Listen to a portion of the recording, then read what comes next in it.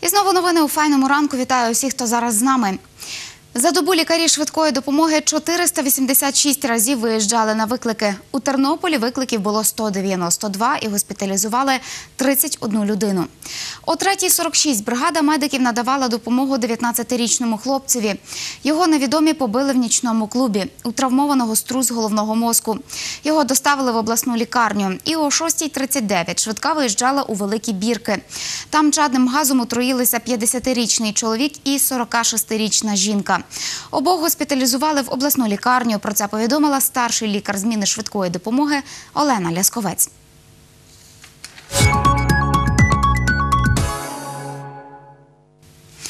Сьогодні об 11 годині в актовій залі комунального підприємства Тернопільводоканал, що на вулиці Танцорова, 7, відбудуться відкриті громадські обговорення проекту про внесення змін до постанови Національної комісії, що здійснює державне регулювання у сферах енергетики та комунальних послуг від 16 червня 2016 року і такої ж постанови від 26 листопада 2015 року.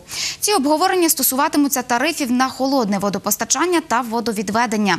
Про це повідомила прес-секретар Тернопільводоканалу Наталя Турчин.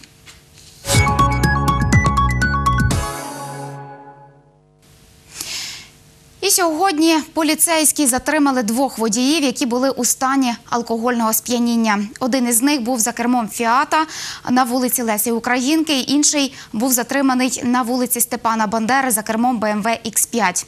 На обох склали адмінпротоколи і у них вилучили водійські права. Про це повідомила речник патрульної поліції Тернополя Катерина Басалига. І на цьому у мене все. До зустрічі у наступному випуску за півгодини.